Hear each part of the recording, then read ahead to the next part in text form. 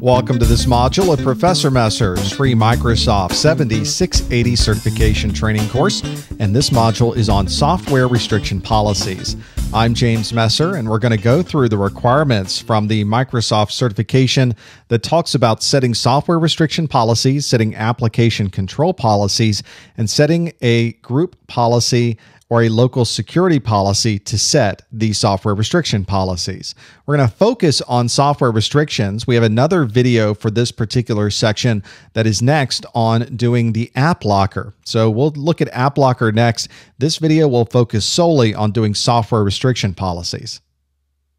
You set software restriction policies using your local security policy editor or the group policy editor to restrict that. And you can just simply go to your start and run gpedit.msc and it'll bring up that group editor. You could also type in group policy and it will be able to do that as well. There's a little bit of overlap here with AppLocker. Both of these do similar things, allow or disallow someone to run a certain program. But AppLocker has some other capabilities that are a little bit better when it comes to managing it, but unfortunately, the scope is a little bit smaller with AppLocker. For example, the group policy changes that we'll make here that are associated with doing software restrictions work no matter whether you're running Windows XP, running Windows Vista, and Windows 7. And that means that we can set some policies, and if somebody logs on their Windows XP machine, these software restriction policies will work properly. AppLocker, as you'll find in the next video, only works in Windows 7 Ultimate and Windows 7 Enterprise. It doesn't work on Windows Vista or Windows XP or some of those other flavors of Windows 7. So you may find yourself actually using both of these to be able to administer and manage the applications that run on your computer. We're going to go to the settings in your local security policy or your group policy editor under Computer Configuration, Windows Settings, Security Settings, and Software Restriction Policies. And we'll step through those so that you can see exactly the way that works. One thing to keep in mind, and what you'll see as we go through this, this is a relatively manual process. There are no wizards that set this up for you. You cannot specify a certain rule type and have it affect multiple executable files within a folder. You now have to use this program to go into individual folders and set very specific rule types. So this is a little bit slow if you have many, many rules that you need to set up. And that's something when you see AppLocker, whenever we work with that, it has some nice wizards. Well, you don't have those wizards available with software restriction policies. To start the group policy editor, you would go and do a gp edit MSC and it will load up your group policy editor. If you're working without a domain, you could go to the type local and to go to your local security policy as well. Either one of those will work on your machine. I'm going to do a group policy editor. Here's another way to do it. Just type group policy and you can bring up the option to edit group policy as well. Either one of those will work just fine. This group policy editor, since I'm on a domain, means that I could start setting policies for everybody else that's on my domain as well. So I'm going to go into my computer configuration under my Windows settings under the security settings, and underneath there is a section for software restriction policies. Software restriction policies are pretty straightforward. You can see there's some options in here to set different security levels by default.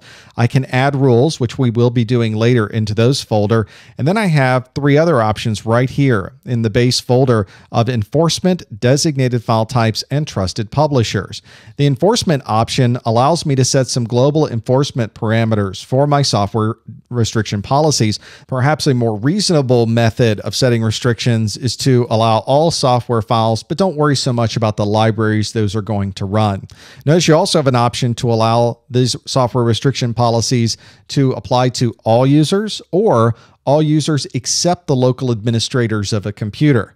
This allows you to log in locally, but not be restricted with the same software restriction policies that you may have set up already. And there's also another option here to enforce or ignore any certificate rules that you've set up. And we're going to look at certificate rules in just a moment. But certificate rules are going to check to see if a particular file that you're ex executing has been digitally signed by a publisher. So if you're starting to run an application, there's many, many different executables that run on a computer.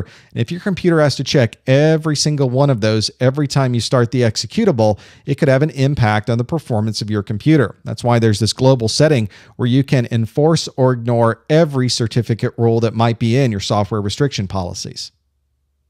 We can also set, as some of these global settings, these designated file types. Just because it's an executable file doesn't mean that's the only kind of file that's able to run on your computer.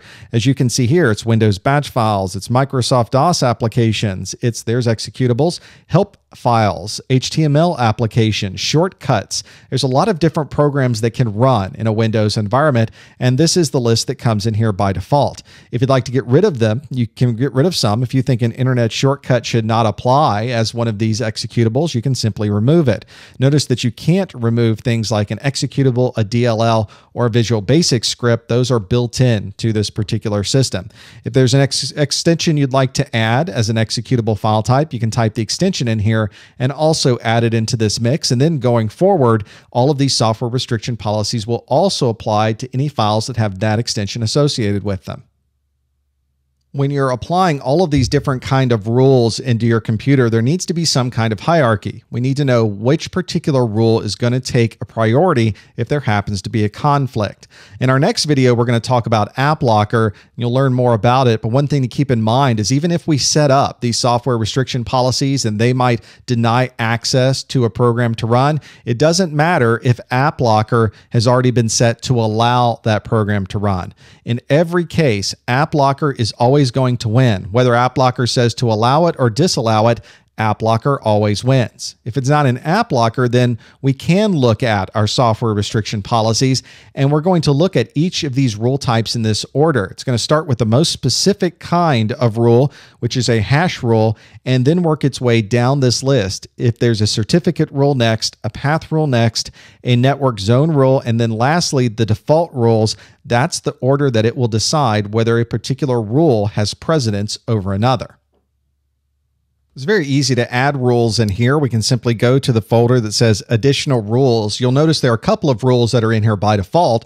These are rules that allow the Windows operating system to function. You don't want to turn on your software restriction policies and then realize you haven't allowed Windows to work properly. So these rules have been added by default. If I right mouse click, I can add other rules, a new certificate rule, a new hash rule, a new network zone rule, and a new path rule. Notice that these are in here in alphabetical order. They're not in here by the order of precedence. So you have to always remember that hash rules are considered first, then certificate rules, then my path rules, then my network zone rules, and then finally whatever your default rules will be that we'll look at in a moment.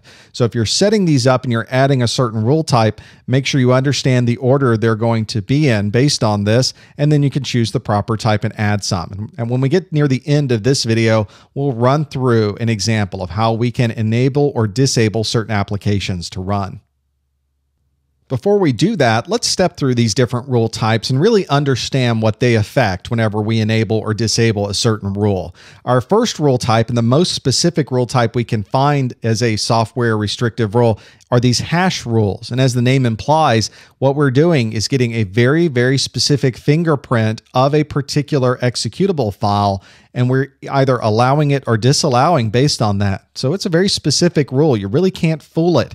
If that particular file was upgraded, was changed, it's not going to pl- apply anymore because as you can see, a hash rule looks at an executable file that is a specific version, the name of the file, the operating system it runs on, and then you can allow or disallow what it's doing. That gives you a lot of control, some very, very, very specific control, in fact, all the way down to an exact version of a particular program. If you're rolling out a new application and you want to be sure that nobody's going to run the old application, that old application might corrupt the database, you could set a software restrictive rule here that does not allow that particular version to run, but still allows the new one to run. So a lot of control there.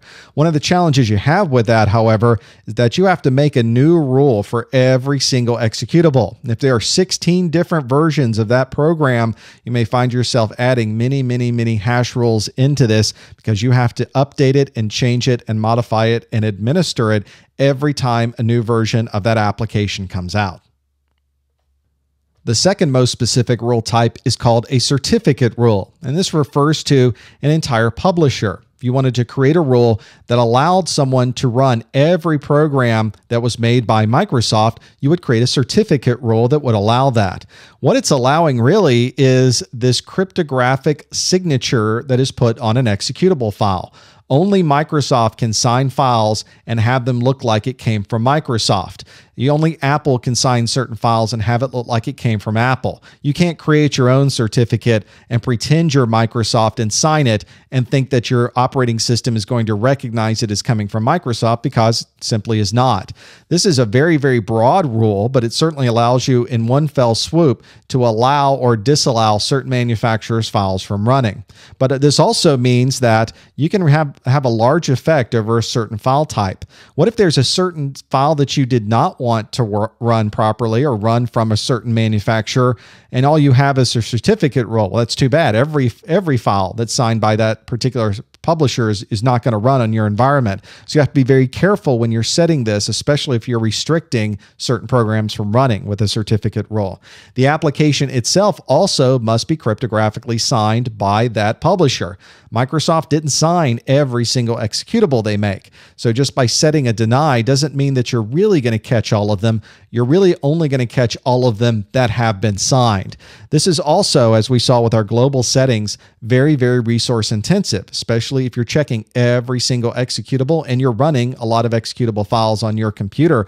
All those programs that are running have to be checked to see have they been signed and then to see if these certificate rules are going to apply. If you have some older computers out there, could be slowing them down quite a bit just because you are enabling some of these certificate rules. The next rule type down is the path rule. And as that name implies, we're really allowing or disallowing applications based on where they reside on your computer or on a server. We're allowing a certain directory or maybe just a specific file in a location to run on a computer. This gives you a lot of control. If you're trying to do entire directories, you can simply say everything in this directory is allowed or is not allowed. And that gives you some control, but it also limits you in a way because it's really only looking at a folder. If I took that executable file and I moved it to another folder that is allowed, well, then I'd be able to run it just fine. So you have to keep that in mind whenever you're setting up some of these path rules that a smart user, if they're able to move that executable, would still be able to run that properly. The network zone rule is the next most specific rule type, but this is a very, very broad setting that we would use to allow or disallow certain programs to be installed onto our computer. And offhand, that sounds great. That is a lot of control to allow or disallow that based on what zone it came from. That means if somebody downloaded something from the internet zone, you could say that that file could not be installed onto a computer. And that allows you to really mitigate the risk you might have from a file that you don't know where it came from, you don't have a lot of control over it. You can make sure your users don't accidentally install something they're not supposed to. But on the disadvantage side, it only applies to installer files. It only applies to MSI files. This does not apply to every single executable that you might download from the internet that happens to install an application. It only uh, allows or disallows very specific types of installer files. And it also only applies to Internet Explorer. If you use Internet Explorer, you know there's an internet zone, there's an intranet zone, there's a trusted zone, there's an untrusted zone. If you were to use Firefox, for instance, those zones don't apply. So in those cases, the network zone rules would not even work because the browser itself has no context to where those files were downloaded. Once we go through all of those more specific rules, the most general rule that you'll find are the default rules. And you can allow all applications, all software on your computer simply won't run unless there are ones that you allow. It's a very, very tight rule, a very secure rule, but it also means that you're going to have to individually enable every program you would like to run on this computer. You can also have this set up as a basic user, which means you'll be able to run any program that doesn't require administrative rights. Again, a little bit more secure than just running every single file, regardless of the rights of the user, which is the default. The default is unrestricted, which means depending on your user permissions, you can run anything on the computer unless one of those other rule says otherwise. Let's set up a rule on my computer that might restrict us from running a certain program. In fact, I'm going to go to my hard drive here, and in my program files directory, there is a Microsoft Games folder. And let's say Mahjong is a program that I would like to disallow. As you can see, if I double click Mahjong, it does tell me that I'm not running hardware acceleration here, but otherwise, it allows me to run the Mahjong program just fine. That's great but I would like to restrict that. So we're going to go to our software restriction policies under our additional rules. I'm going to right mouse click that, and I've got an option here as to what I can do. I can choose a new certificate rule, a new hash rule, a network zone rule, and a path rule. Well, this is a program that came from Microsoft, but I only want to restrict that one particular file from running, so a certificate rule probably wouldn't apply. A network zone rule would not apply because I did not download this from the internet and it is not an MSI installation file. It's an executable that is already on my computer. So a, a path rule might apply. That's something I could put in there. But if I wanted to really be specific, I would choose a hash rule. And to enable a hash rule, let's choose browse. And I'm going to move uh, back to my Microsoft Games folder instead of Solitaire. Let's choose Mahjong. And I'm going to choose that Mahjong application and click Open. Notice that it finds in Mahjong the exact version number of that program, the executable, the name. What it is is the executable for the Mahjong Titans game from the Microsoft Windows operating system and Microsoft Corporation is the publisher. And my default security level is to disallow it. And that's exactly what I'd like to do. My default rule allows everything else to run. So that means I've got a hash rule right here at the top everything else is going to work except that. So let's see how that rule works. Let's now go back to this and double click and it says this program's blocked by group policy. For more information, contact your system administrator. Because we didn't set a path rule, if there were other programs in here, we could run those just fine. This hash rule is very, very specific to this executable. And now I'm not allowed to run Mahjong on this computer. Let's review some of the topics from this particular video. Our first question, what kind of software restriction policy can control an application using a unique signature? Well, that's exactly the type that we just used to be able to disallow access to the Mahjong program, and that was a hash rule. Our second question, what two user types can be controlled through an enforcement policy? If you recall, we could allow everybody on our computer to run programs, but there was another option as well, which means that we could allow all users except the local administrators to apply to any of these policies that we're setting. And the last question, which browser is required to take advantage of a network zone rule?